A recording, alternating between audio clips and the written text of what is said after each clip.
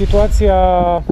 din punct de vedere al atribuțiilor pe care le am ca director medical interimar sunt, în primul și în primul rând, asigurarea ca resursa umană a spitalului să fie validă și aptă de serviciu. Uh, cifrele pe care vi le-a prezentat, procentele prezentate de noul manager, uh, sunt uh, încurajatoare pentru toată lumea, în primul rând pentru personalul spitalului și în, nu în al doilea rând neapărat pentru populația generală, populația județului, a municipiului, în primul rând poate să aibă încredere că spitalul și-a revenit din punct de vedere al personalului, uh, întoarcerea la muncă a aproape tuturor medicilor și a trei sferturi din asistente, respectiv două treimi din uh, infirmiere și îngrijitoare, uh, nu face decât să fie expresia faptului că pandemia a trecut, imunitatea s-a câștigat personalul își revine și din punct de vedere psihologic, este apt de muncă, coroborat cu tendința constantă din ultima săptămână, aș îndrăzni să spun, a scăderii numărului de cazuri noi, uh, nu face decât să uh, întărească, pe de o parte, ideea că personalul știe ce are de făcut, poate să facă, iar uh, trendul uh, se consolidează din punct de vedere al uh, îmbolnăvirilor noi, este în scădere sigură, cel puțin din analiza datelor epidemiologice. Acum, ce rezervă viitorul?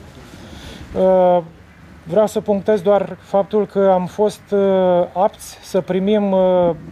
șocurile punctuale, cazurile de îmbolnăvire de la Sasca, de la Costâna, Uh, de la Bogdănești.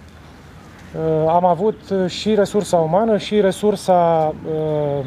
de paturi disponibile ca să preluăm cazurile care ne-au fost adresate. Vestea îmbucurătoare apropo de lucrul acesta e că pacienții, atât beneficiarii, deci și personalul care era la Costâna și la Sasca, a început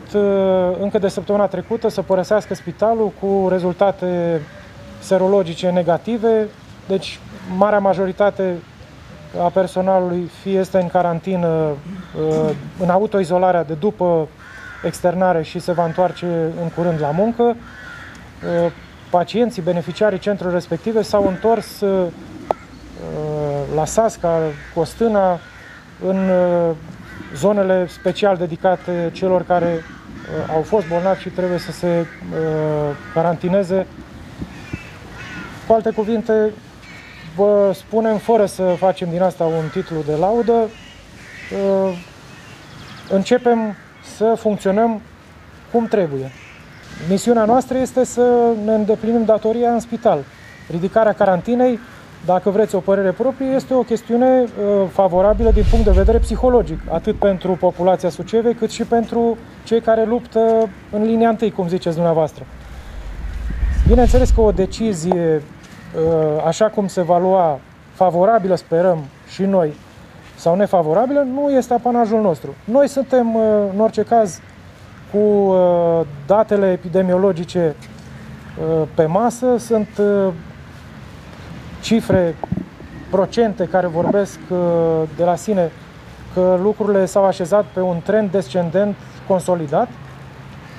și dacă se va ține seama de lucrul acesta și de alte date epidemiologice care nu sunt uh, în posesia noastră, ci a Direcției de Sănătate Publică, dacă vreți o părere personală, înclin că ne calificăm pentru ridicarea carantinei în Suceava.